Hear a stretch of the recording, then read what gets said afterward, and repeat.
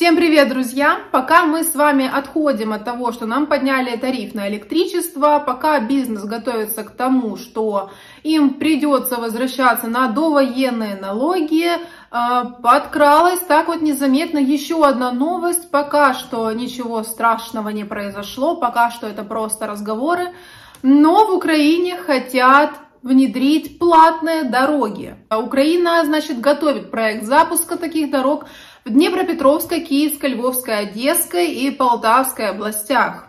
Стоимость всего проекта составляет 6,5 миллиардов долларов, заявил глава Госагентства восстановления Мустафа Наем. Правительство уже внесло законопроект, который разрешает э, эту инициативу воплотить в жизнь. И в строительстве платных дорог в Украине заинтересован Евросоюз, а точнее их компании.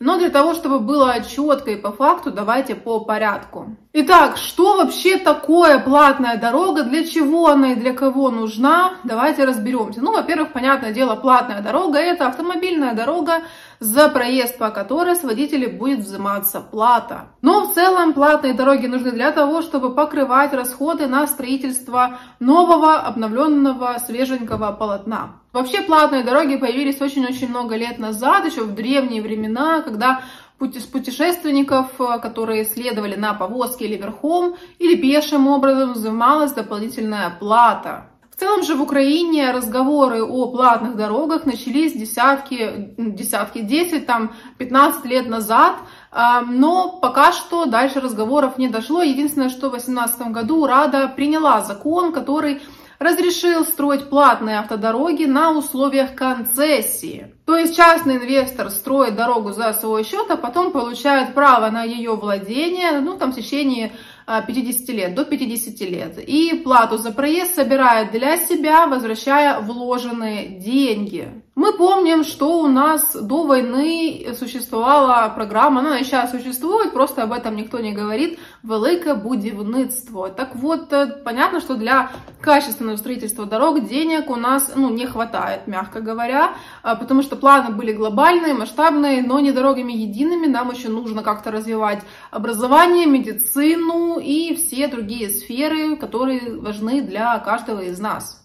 Вот здесь и возникает потребность в платных дорогах, потому что ну, строить их можно или за счет частного инвестора, или даже за государственные деньги в надежде потом отбить стоимость проекта. Над проектом начинал работать Купраков, который является министром инфраструктуры, но раньше, в 2019 году, именно он возглавлял Укравтодор. И он обещал построить дороги через 3-4 года, то есть, ну, не через 2-3 недели, как у нас уже, как у классика, но через э, 3-4 года. Об особенностях строительства платных дорог разговаривали и с журналистами, которые э, непосредственно тщательно изучают все тендеры, и в частности тендеры Укравтодора, и там есть такая особенность, что, я думаю, ни для кого не секрет, что обычно в тендерах побеждают там 3-4 топовые компании. Одна из них Автомагистраль Юг, и вторая компания Анур или полное название Анур Constructions International, которые входят в Национальную ассоциацию дорожников Украины. И именно эти две компании начинали разрабатывать проект платных дорог. Именно эти компании выигрывали большинство подрядов на строительство дорог в рамках программы «Велике будівництво». А есть вопросы к тому, какие у нас были скандалы при строительстве дорог, и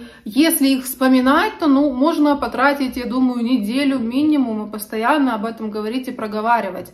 Но это такая таблетка для памяти, для того, чтобы понимать, если у нас сейчас во время войны ведут вот эту вот историю с платными дорогами, то кто ими может заниматься, какой бэкграунд и вообще, э, э, чтобы было понимание того, что нас может ожидать. Пару месяцев назад о важности появления в Украине платных дорог заговорил совладелец новой почты.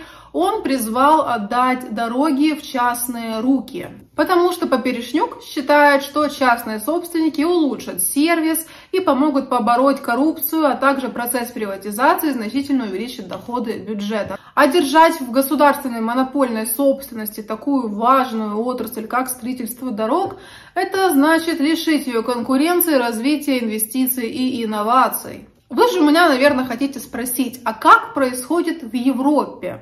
Не во всех странах распространена практика частных дорог. Например, у поляков, у наших верных друзей, а платные только три автострады.